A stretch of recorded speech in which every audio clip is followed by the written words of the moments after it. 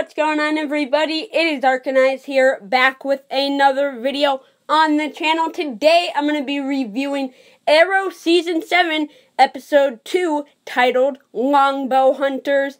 This episode was definitely a step down from the premiere, but it was still an okay episode. There were just there were a good amount of things I didn't like, but there were some great moments too. So let's get into this review.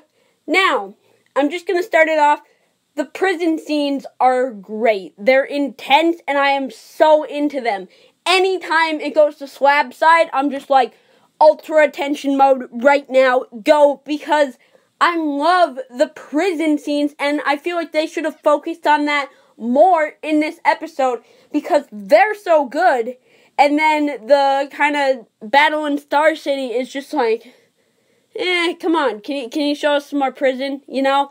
Also, I'm really liking where the flash forwards are heading. I think they're going to be very interesting this season. And Roy's going to be in like almost all the flash forwards, which is going to be awesome.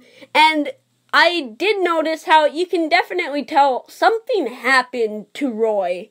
Like, he's not the same person he once was. Something happened to him, and so that he probably went to the island because of that. And he seems he seems kind of more like locked up inside with his feelings and his thoughts. And it's going to be interesting to see how that will play out in the future of this season. And Felicity is so annoying in this episode. That is what brings down the score for me so much because this episode could have been great, but Felicity is just bad. Okay? She's ignorant. She's just. Emily Bett Rickards can't do emotional acting. Like, when she's in the background and tunes in for funny quips and stuff and, like, really, like, interesting factoids and stuff, she's fine. She's a good character. And I like her as Oliver's wife ish, but when she has to get emotional and when something's emotionally driving her, she's just bad. And I don't know why they're writing her this way because literally every one of my friends, we were watching it, and all of us were just like, Bro, Felicity, stop please like we could have written felicity better and like that that is the main issue in this episode is felicity now there are also some storylines that don't like quite work out and they just seem kind of lost but my big pluses are the prison scenes and the flash forwards the prison scenes are still amazing in this episode, and there wasn't even as much action. But I love Oliver so much. Like, the way he took care of the guard was just pure brilliance. I was just like, Oliver, bro, you're. I love you. Like, that's literally me. Like he it was so smart and I just loved that scene. But like just him and Stanley's relationship growing is really cool to see. And we got a new opening monologue in this episode, which was pretty cool. And I just I love everything about Slabside Prison. Like it just feels so right for Arrow and they do it so well.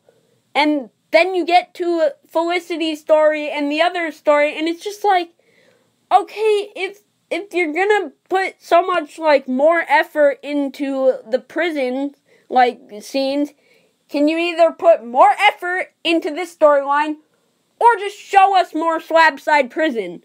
Because Slabside Prison carries the episode here. It legit carries it. So the ending also bumps the score up a little. I did like the fight on the train for the most part. And we find, but at the end, Felicity actually admitted she was wrong. Okay, then then she like continued to be annoying after that, but she admitted she was wrong. And I was like, Way to go, girl. Yes, thank you. Just thank you. Just, okay, you can leave now. And of course, she's not going to, but whatever. Also, the story the flash forwards are setting up is really interesting, and the like they're going back to Star City, future Star City, guys. What is it gonna be like? Like we've already seen Star City 2046 in Legends, so what is this going to be like? And it the flash forwards are focused around two characters that I really like in William and Roy. So I am just so so hyped to see how those play out. Hopefully we get a little more action in there, but even the scenes with them just talking are really really well done. I do like Diggle in this episode. I think he's a good character. I think Black Siren's a really good character, and I'm actually on her side in this episode take Diaz out. Okay?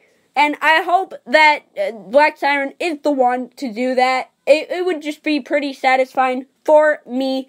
And yeah, I, that is going to wrap up this review. There was a lot of stuff I did like and a lot of stuff I didn't like. So, I'm going to give this episode an 8 out of 10. Yes, maybe that's being a little bit generous, but I I enjoyed this episode. So guys, that is going to do it for me. Hopefully you all enjoyed. If you did, be sure to drop a like and leave me your thoughts on the episode down below. And I will see you all next time. Peace out.